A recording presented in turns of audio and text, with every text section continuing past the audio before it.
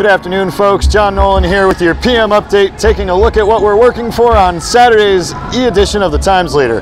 I'm here at the annual Fine Arts Fiesta, which continues through Sunday. If you haven't had a chance, come on down.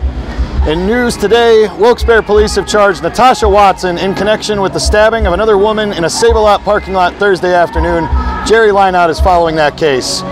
A Hazleton couple has filed a civil lawsuit in Luzerne County Court against a trucking company and a commercial vehicle rental business, stemming from a crash that involved a state police cruiser on Interstate 81 in 2020.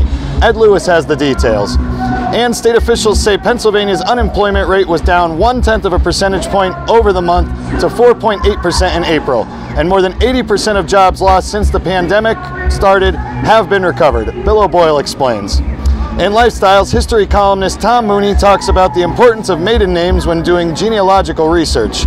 Remember that Blackout Bingo is underway. You can find your number inside the paper each day.